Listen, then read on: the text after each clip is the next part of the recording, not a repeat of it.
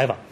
那么当时那个地区呢是在这个倡导全民养牛，为了应付上级领导的检查呢，他就领导来的时候，他让老乡们把牛啊全都轰到这个主路的两边。好家伙，这个你走在路上，你就看这个牛是熙熙攘攘、哞哞直叫。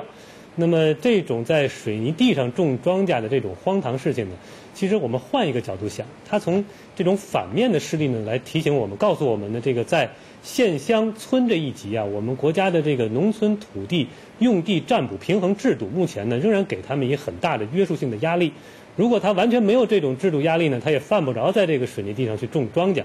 那么要改变这种杜绝这种荒唐事呢，我想，呃，也没有什么捷径，也就是三个笨办法，但是很实用的笨办法。一个呢是他的上级领导这个不能睁一只眼闭一只眼，要明察秋毫；第二个呢恐怕是要这个有更多的制度性的约束的办法，而不能仅靠这些上级领导来检查或者抽查；第三个呢，就像这条新闻所反映的，我们新闻舆论的监督要跟上。那么我想，这个我们国家呀，确保十八亿亩土地的耕地的这个红线。这是我们的一个基本国策。我们现在正在经历的这场抗旱斗争呢，又再次说明稳定耕地面积、确保粮食安全，对我们国家经济发展的大局是多么的重要。这件事情就再次提醒我们，一定要想更多的办法，让这个十八亿亩不是停留在纸上的数字，而是实实在在的耕地。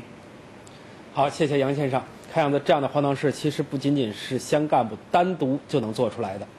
稍后呢，是一组国内简讯。国家版权局、公安部、工业和信息化部三部委八月开始实施“二零零九全国打击网络侵权盗版专项行动”，将利用四个月的时间，围绕网络影视传播、文学网站、网络新闻转载等重点领域，开展专项治理行动。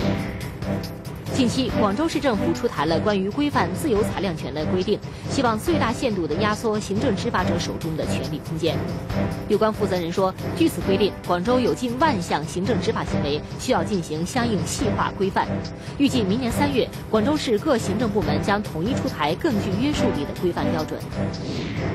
多家机构的监测显示，上周上海楼市成交价格与前一周基本持平，均价逼近两万元大关。但进入八月以来，成交量下降了三成左右，市场观望气氛浓厚。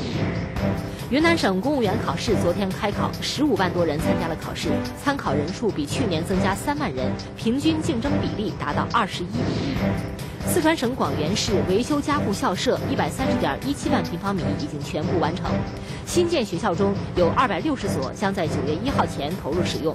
百分之八十五的学生开学时将进入永久性校舍上课。江苏核电有限公司负责人二十二号表示，因获悉美国控制组件有限公司 CCI 向包括该公司在内的九家中国公司行贿的消息，江苏核电有限公司已对此展开调查。